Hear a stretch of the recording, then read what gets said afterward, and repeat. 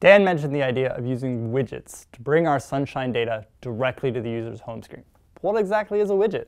So far, we've only focused on activities, full screen experiences, and fragments, which are reusable portions of those activities. Widgets differ in that our app provides just a view. That view is then passed to the home screen app, the launcher, to display alongside other widgets and other app launcher icons. App widgets had a humble beginning. Fixed size widgets that could respond to one action, tapping. This was great for control widgets or widgets with just a single piece of information to display. In Android 3, widgets got support for collections of data and vertical swiping.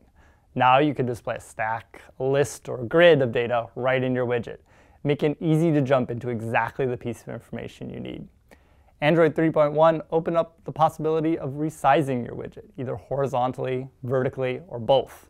This gave users the ability to customize exactly how much space they want to give to your widget, and gave developers the tools needed to customize how they display their data depending on the size of the widget. So, can we use these capabilities for Sunshine? Let's focus on two common cases. Today's weather, where we'll build a horizontally resizable widget showing information just about today.